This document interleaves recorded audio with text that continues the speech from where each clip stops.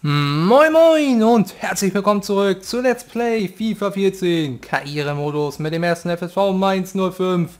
Beim letzten Mal war es endlich soweit. Unsere lange, lange Durststrecke wurde mit einem Sieg bei Borussia Mönchengladbach 2 zu 1 am Ende endlich gelöscht, möchte ich schon fast sagen. Aber darauf dürfen wir uns nicht ausruhen, sondern müssen heute direkt nachlegen. Am 17. Bundesligaspieltag das offizielle Ende der Bundesliga-Hinrunde in der Kofas Arena gegen die TSG 1899 aus Hoffenheim, die sehr unten, weit unten in der Tabelle stecken, ganz kurz vor dem Relegationsplatz stehen. Also auch die, um die, für die geht es um was. Mein Gott, mein deutscher Ersatzbau ist schon wieder hervorragend. Gehen wir lieber direkt ins Spiel, denn dafür sind wir da, um Fußball zu sehen. Ganz kurz zum Personell, äh, Personell, zum Personal. Da hat sich nicht viel geändert. Leonardo Bittencourt bekommt nun mal eine Gedenkpause. Für ihn bekommt nach langer Zeit mal wieder Mahmoud Karaba, der Ägypter, seine Startelf-Chance. Anfang der Saison ja relativ gesetzt gewesen beim alten System auf der 10er Position. Aber momentan ein bisschen hinten dran.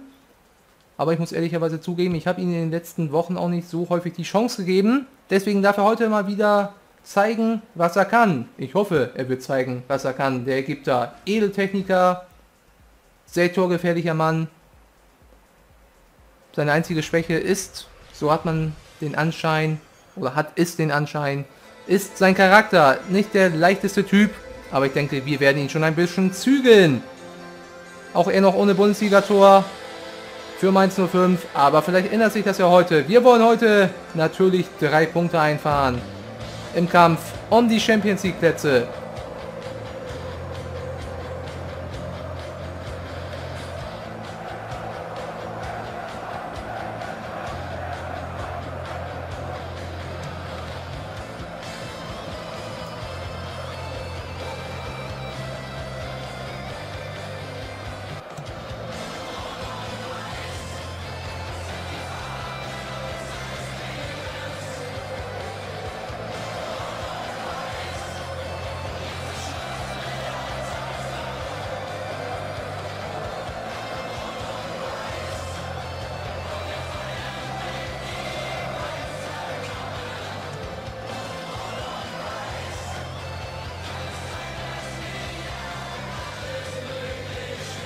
Immer wieder ein Genuss, diese Mainzer Einlaufhymne.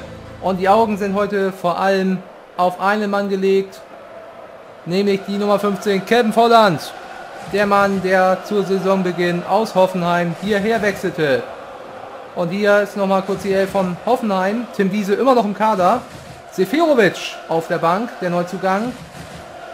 Einige interessante Leute dabei, vor allem Timothy Schindler im rechten offensiven Mittelfeld bei uns ja zu häufig als Rechtsverteidiger gespielt, aber er kann auch rechts offensiv spielen und das scheint er bei der TSG zu tun, den wir ja im Tausch gegen Kevin Volland und 22 Millionen Euro abgegeben haben. Erster guter Angriffsversuch der Gäste, äh, beziehungsweise der Gastgeber aus Mainz. Wir spielen ja heute zu Hause. Ich habe irgendwie ein Gefühl, dass wir die letzten Spiele so häufig auswärts gespielt haben. Da tut es mal wieder gut nach langer Zeit hier vor heimischer Kulisse zu spielen. Kevin Volland, der erste Angriff über Boni. Und das ist Nikolai Müller, der ist auf und davon. Nikolai Müller! Müller nochmal, wo ist der Ball? Kevin Castells hat ihn mit ein wenig Können und ein wenig mehr Glück schafft er es, diesen Ball abzuwehren. Riesenchance für den Kapitän Nikolai Müller. Ballverlust und jetzt der Konter über Geist. Hervorragender Ball. Nikolai Müller bekommt den Ball nicht ganz sauber mit. Versucht in die Mitte zu legen.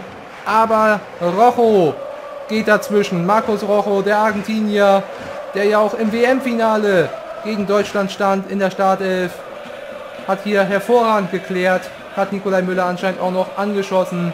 Deswegen gab es keine Ecke, sondern nur Abstoß.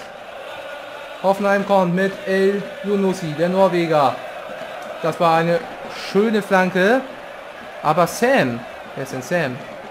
Nicht Sydney Sam, das müsste Sekou Cissé sein, die Sturmzentrale der Hoffenheimer. Der Mann der 13, ja, so ist es. Wird anscheinend Sam gerufen. Wusste ich persönlich auch noch nicht. Gute Verlagerung von Ginter auf den St. Gala, der mit dem langen Ball. Kevin Volland, aber kommt da nicht dran an seinen langen Pass. Chandler, der wird natürlich auch motiviert sein. Wurde bei uns in Mainz auch nie so wirklich glücklich, obwohl er die meiste Zeit Stammspieler war. Schöner Zweikampf. Und jetzt wieder Konter. Ah, aber Boni bekommt den Ball auch nicht rübergelegt zu Kevin Volland. Den suchen sie hier natürlich. Und das wäre doch eine kuriose Geschichte, wenn Volland hier sein erstes Bundesligator für Mainz 05 erzielen würde, oder? Das wäre doch eine Geschichte. Kevin Volland, der ja in der Vorbereitung sehr stark gespielt hat, sich dort aber verletzt hat und erst seit wenigen Wochen wieder im Kader steht und uns zur Verfügung steht. Aber jetzt kommt erstmal wieder Timothy Chandler. Nein! Durchatmen, 105. Und das wäre natürlich auch eine genauso kuriose Geschichte gewesen, hätte Timothy Chandler hier getroffen. Der Mann mit der Rücknummer 2, der US-Boy, der ja im Real Life zu Eintracht Frankfurt gewechselt ist. Scheißpass von Ginter war es, glaube ich. Den kann Diekmeyer nicht erlaufen. Mainz 05 gerade mit einer kleinen Schwächephase. Müssen sich wieder auf die Stärken besinnen, konzentriert bleiben. Wenn die Kleinigkeiten, die Pässe aus 10 Metern nicht mehr ankommen, dann hat man hier wenig Chance, auch gegen einen Gegner, der unten im Keller drin steckt, drin sitzt, hier irgendwie zum Torerfolg zu kommen.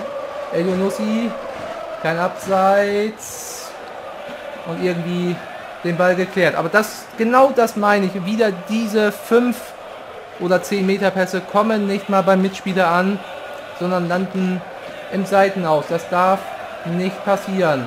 Aqua, Roberto Firmino, wieder Aqua, Fabian Johnson, ein weiterer US-Boy bei den Hoffenheimern, aber jetzt Abseitsposition von Roberto Firmino, den vielleicht wertvollsten Spieler in den Reihen der Kranich hier aus Hoffenheim. Oh, jetzt der Fehler von Diekmeyer. Was ist denn da los heute mit der Defensive wieder? Elionussi gegen Ginter. Flanke kommt, aber Kongolo kann klären. Boni sehr weit mit nach hinten gegangen. Und wieder ist der Ball weg. Der Ball bleibt keine zwei Sekunden in den eigenen Reihen. Und jetzt spielt der Schiedsrichter sogar für uns mit, aber bringt auch nichts, weil der Ball sowieso wieder zu den Hoffenheimern springt. Cissé, El Yunusi gegen Diekmeyer. Zweiter Versuch.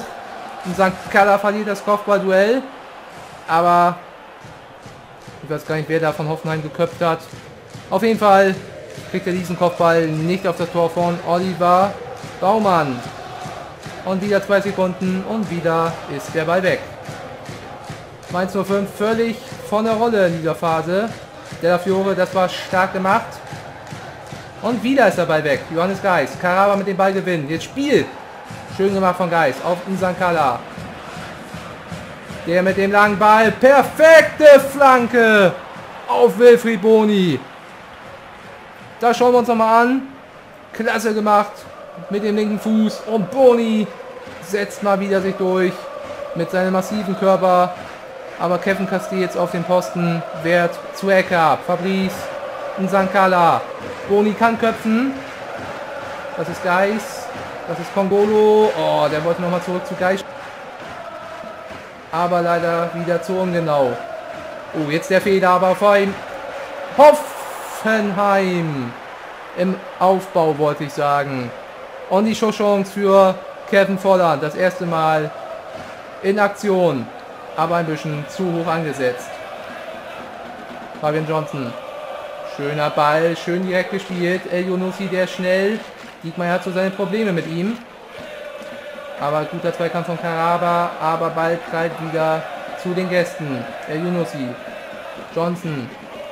Oh, schön herausgespielt. Aqua gegen Ginter, der weiß sich nicht anders zu helfen als mit diesem Foul und sieht deswegen gelb. Ganz kurz vor der Strafraumgrenze. Gute Freistoßposition für Firmino. Der kommt gut. Geist steigt am höchsten. Konterchance vielleicht, aber Müller alleine auf weiter Flur. Muss warten. Boni. Karaba läuft mit. Mahmut. Karaba. Geist ist in der Mitte. Oh, und fast ein Eigentor. Riskante Aktion. Ich glaube von Teska. Ja, der Mann mit der 4 war Der seinen eigenen Keeper da auf die Probe stellt. Aber wir kommen einfach heute nicht in die Zweikämpfe. Aber jetzt mal ein technischer Fehler von Chandler. Vielleicht etwas nervös an Alter Jochenstätte. Kurz vor der Pause nochmal ein bisschen Ruhe reinbringen. In der Halbzeitpause gleich vor allem ein bisschen sammeln. Denn wir spielen einfach viel zu unruhig. Jetzt läuft mal ein bisschen strukturierter ab mit Della Fiore. Ah, wenn der Ball noch ein bisschen weiter in die Mitte kommt. Oh, kaum sage ich das mit der Konzentration und Struktur. Dann passiert so ein Fehlpass von Karaba. Aber es war der letzte Fehlpass. Zumindest in der ersten Hälfte. Denn der Schiedsrichter Dietmar Schönlebe pfeift ab. Torlos 0 zu 0. Mainz kaum wieder zu erkennen nach dem starken Spiel am letzten Spieltag gegen Gladbach, wo es wirklich ein Hin und Her gab. Heute ein bisschen ruhiger. Naja, kann man wirklich ruhiger sagen. Also unser Spielaufbau ist alles andere als ruhig. Das muss im zweiten Durchgang auf jeden Fall noch besser werden. Hoffenheim mit deutlich mehr Ballbesitz. Kommt allerdings noch nicht so häufig zum Abschluss. Glücklicherweise. Mal gucken, wie es in der zweiten Halbzeit gleich weitergehen wird. So, nochmal einen Schluck aus der Pulle genommen und jetzt auf in den zweiten Durchgang. Mainz jetzt von rechts nach links natürlich immer noch in rot-weißer Spielkleidung. Sie wollen dem heimischen Publikum zumindest noch einen Treffer heute zeigen, oder? Los geht's, kommt Leute. Feuert das Team an. Diekmeier, kein Abseits von Volland. Aber der braucht zu lange, um den Ball zu verarbeiten. Oh, die nächste gute Chance. Und wieder so ein Blitzstart, ähnlich wie im letzten Spiel gegen Gladbach. Bloß diesmal nicht mit einem Tor belohnt. Das ist Ginter. Versucht durchzustecken, aber natürlich bekommt der Hoffenheimer den Ball so abgeprallt, dass er ihm perfekt in den Fuß fällt. Roberto Firmino in diesem Falle. Und er spielt einen überragenden Pass. Und Baumann hält überragend gegen El Yunusi, den Norweger. Da sah die Innenverteidigung mal wieder ganz kurzzeitig nicht gut aus in Person von Matthias Ginter. Wir müssen jetzt unbedingt ein bisschen ruhiger agieren. Sankala. Della Fiore. Keine Anspielstation. Nochmal hinten rum. Sankala. Zurück zu Della Fiore. Geist läuft in Position. Oh, schade, dass der Ball nicht durchkommt zu Della Fiore. Ah, wir versuchen. Wir versuchen wirklich früh die Gäste aus Hoffenheim zu stören. Gelingt meistens auch, aber jetzt ist da eine Lücke. Aber zum Glück stand da Firmino wohl im Abseits. Der Fiore kommt nicht dran. Karaba, gut gemacht. Jetzt mal schnell kontern, aber abseits. Da braucht Wilfried Boni da nicht hinzugehen. Rojo, der Ball ist noch im Spiel. Volland geht früh drauf. Kommt Kevin. Ah, schade.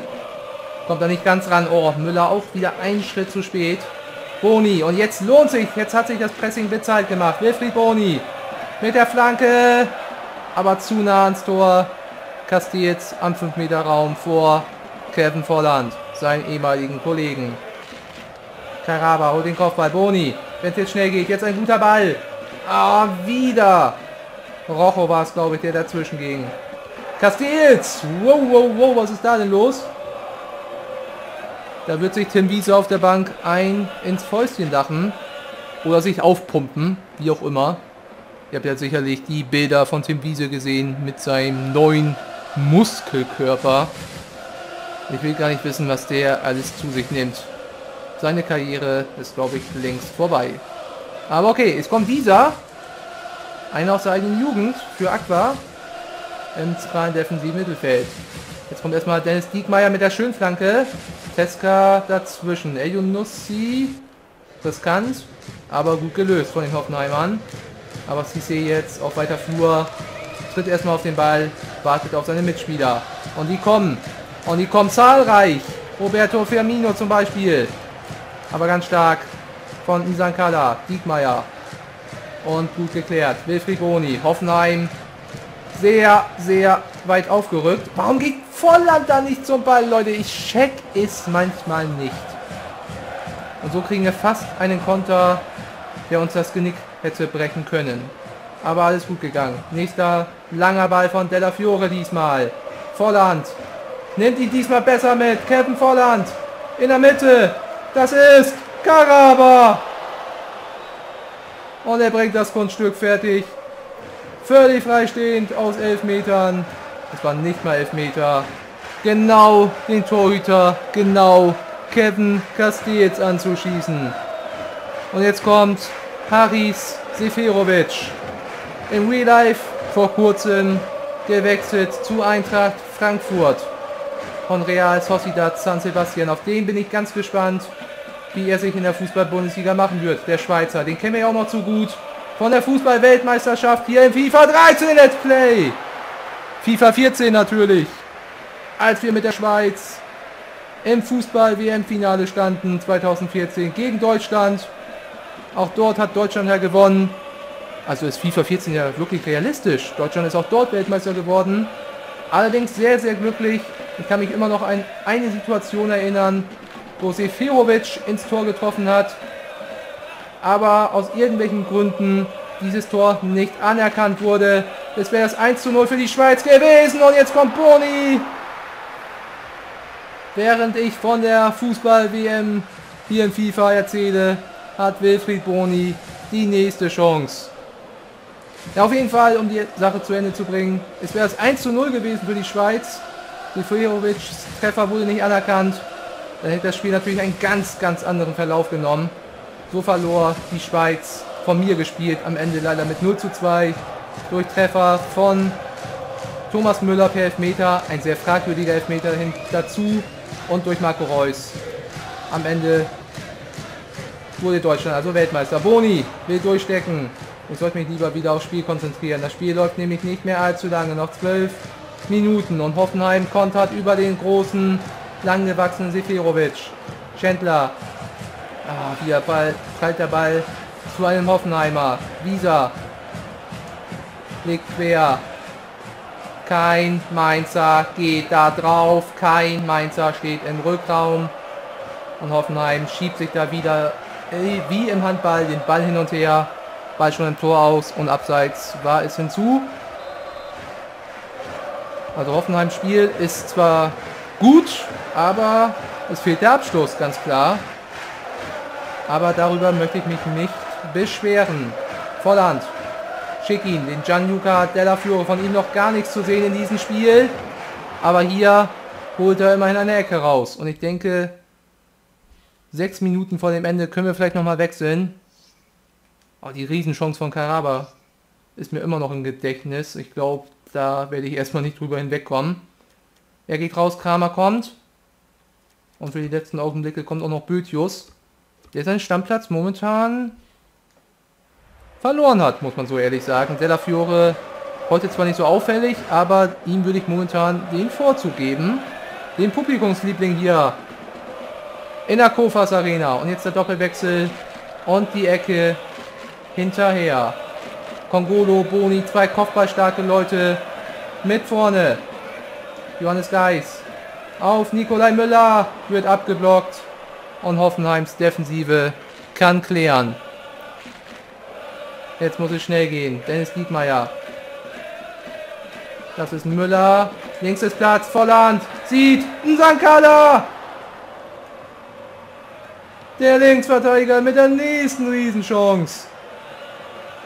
Nach der Ecke noch etwas vorne geblieben. Und er scheitert ebenfalls am starken Rückhalt der Hoffenheimer Kevin Gastils, der Belgier. Belgische Nummer 3 und jetzt der Konter. Ginter im allerletzten Moment vor Roberto Firmino. Aber Hoffenheim hat den Ball noch. Hat ihn immer noch mit Chandler. Auf Apicula gespielt. Rudi. Bekommen wir nochmal einen Ballgewinn. Nicht gegen diese ballstarken, technisch starken Hoffenheimer. Rudi. Oh, die halten den Ball auf 520 Sekunden im Spiel, um dann so eine Flanke zu schlagen. Also bis zum Strafraum sieht das richtig gut aus, was Hoffenheim da bietet. Aber in der letzten Aktion dann doch schwach. Und jetzt pfeift der Schiedsrichter ab. Torlos, 0 zu 0 am Ende Immerhin mal wieder ohne Gegentor geblieben. 8 zu 2 Schüsse. Vor allem in der zweiten Hälfte, zweiten Hälfte hatten wir richtig, richtig gute Torchancen. Wobei die Passquote, oh, 70 Prozent. Ich habe jetzt nicht in der Halbzeit darauf geachtet, wie viel Passgenauigkeit wir hatten. Aber ich glaube, in der ersten Halbzeit war es noch schlechter. Und das hat uns vielleicht am Ende auch drei wichtige Punkte gekostet.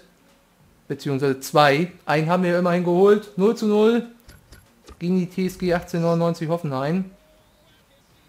Congolo mit einer 7,9er Benotung, Bewertung. Und lasst mich raten, wer Spiel des Tages ist. Natürlich der gegnerische Torwart Kevin Castells, die belgische Nummer 3 mit einer 8,9. Hat Hoffenheim hier wirklich den Sieg festgehalten. Aber immerhin gewinnt der Club aus Nürnberg gegen einen, aus, gegen einen unserer Konkurrenten. Heute habe ich echt so viele Sprachfehler. Was ist denn da los? Wolfsburg ohne Punkt. Das heißt immerhin, wir haben einen Punkt gegenüber Wolfsburg gut gemacht. Und dürften die jetzt in der Tabelle zumindest überholen. Gucken wir mal kurz drauf. Und auch Leverkusen scheint verloren zu haben. Oh, umso ärgerlicher ist das, dass wir jetzt gegen Hoffenheim nicht gewinnen konnten. Aber dennoch haben wir ein bisschen Boden gut gemacht. Wolfsburg jetzt ein Punkt hinter uns. Leverkusen ein Punkt vor uns. Schalke vier Punkte. Und die Bayern haben das erste Saisonspiel verloren. Gegen wen das denn? Am 17. Spieltag, am letzten Hinrundenspieltag verlieren sie doch noch. Gucken wir mal kurz auf die Begegnung. Und zwar gegen den ersten FC Kaiserslautern. Das ist doch mal eine Überraschung. Der erste FCK gewinnt gegen die Bayern, bringt den Bayern die erste Niederlage in der laufenden Saison bei. Das ist ja krass. Dortmund fertigt Werder Bremen 4-1 ab. Das gefällt mir. Wenn das jemand auf Facebook posten würde, ich würde es liken. So, gucken wir nochmal kurz auf die Tabelle. Da war ich vorhin etwas zu schnell und sehen, dass Werder Bremen Vorletzter ist. Ich habe eigentlich nur deswegen nochmal die Tabelle aufgerufen und das nochmal eben zu erwähnen. Hoffenheim klettert auf Platz 14 durch das Unentschieden. Sieben Unentschieden, sieben Niederlagen. Ja, nur drei Siege. Das wohl das Problem der TSG. Also die waren spielerisch richtig gut, aber halt im Abschluss ähnlich schwach, wie wir es waren. Deswegen verdientermaßen am Ende ein torloses Unentschieden das langweiligste aller Unentschieden, die es gibt. Hamua will beeindrucken. Das kann er gerne tun, allerdings nicht bei uns.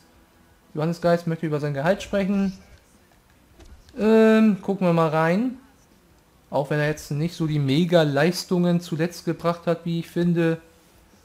Aber bevor die Spieler unzufrieden werden, gucken wir uns das mal an. Wo ist denn der gute Johannes? Ach, da ist er. Okay, 25.000 ist wirklich nicht viel. Er will 35 um ein Jahr verlängern. Ach ja, du hast doch schon mal irgendwann deinen Vertrag verlängert. Ich erinnere mich dunkel, wo er unbedingt die Mannschaftsrolle essentieller Stammspieler haben wollte. Finde ich zwar immer noch übertrieben, aber gut, lassen wir es halt drin. Kriegst auch noch 10.000 Euro mehr Gehalt pro Woche. Das sind 40.000 Euro im Monat. Oh Leute, wenn ich so viel Geld im Monat bekommen würde, oder im Jahr, das wäre ja auch schon krass, wenn ich so viel im Jahr bekommen würde, würde ich mich ja schon sehr, sehr dolle freuen. Aber wir sind nur normalsterbliche Fußballer, zumindest so im Profibereich, sind deutlich vor uns gestellt finanziell. Die haben, wenn sie zwei Saisons spielen in der ersten Liga wahrscheinlich für ihr Leben eigentlich vorgesorgt. Das ist schon krass, was heutzutage so für Gehälter an Sportler, vor allem an Fußballer, überwiesen wird. Um nur, nur um eben Fußball zu spielen. Aber okay, das ist ein, anderes Thema. Immerhin hat Johannes Geis verlängert, das freut uns doch. Und die Pressekonferenz nehmen wir auch nochmal mit. Ach, wir haben wieder ein Heimspiel als nächstes gegen Hannover 96. Kevin Volland immer noch ohne Tor. Das hat er so vielversprechend angefangen, aber dann diese blöde, blöde Verletzung. Na komm, wir Ne, wir loben einfach mal den Trainer von Hannover 96. Ist ein guter Mann. Ebenezer Asifur sagt, danke Chef, danke, dass Sie mich wieder in der Mannschaft aufgenommen haben. Ich muss nicht jedes Spiel spielen, aber ich brauche Einsätze, denn sonst muss ich den Verein wechseln. Im letzten Spiel hast du nicht mal gespielt. Ach, die Spieler heutzutage, was die für Probleme haben. Storage fällt fünf Monate aus. Keine Ahnung, wo der hier im FIFA Let's Play mittlerweile spielt. Vielleicht immer noch beim FC Liverpool. Trainer von Hannover 96 ist ein gerissener. Ja, das ist ein ganz gerissener. Und Mainz 05 hat die perfekte Balance gefunden. Ich glaube, das hat der Trainer von Hannover 96 in unsere Richtung gesagt. 17 Spiele, Winterpause praktisch, aber wir gucken mal kurz auf den Kalender. Ich glaube, drei Spiele müssen wir noch... Wo ist denn der Kalender? Ich weiß nicht mehr, wo der Kalender ist. Da ist der Kalender. Genau, wir müssen noch drei Spiele absolvieren. Als drittnächstes schon wieder gegen Hoffenheim. Interessant. Erst dann haben wir die richtige Winterpause. Bis dahin müssen wir noch ein paar Punkte sammeln. Wobei 30 Punkte schon ein ganz gutes Ergebnis ist, würde ich sagen. Wenn wir es in der Rückrunde auch nochmal schaffen, 30 Punkte zu holen, wären es 60 Punkte. Und ich glaube, das würde normalerweise zur Champions League berechtigen. Aber ihr seht ja, die Top 5, Top 6 Mannschaften sind alle sehr eng beieinander. Und sehr weit weg vom Rest des Feldes. Also 60 Punkte sind kein Garant dafür, dass wir auch wirklich dann Champions League spielen werden. Deswegen brauchen wir jeden Punkt, jeden Sieg, alle drei Punkte am besten auch schon beim nächsten Mal, wenn es wieder heißt Let's Play FIFA 14, Karrieremodus, Rückrundenstart, Spieltag 18, FSV Mainz 05 empfängt Hannover 96.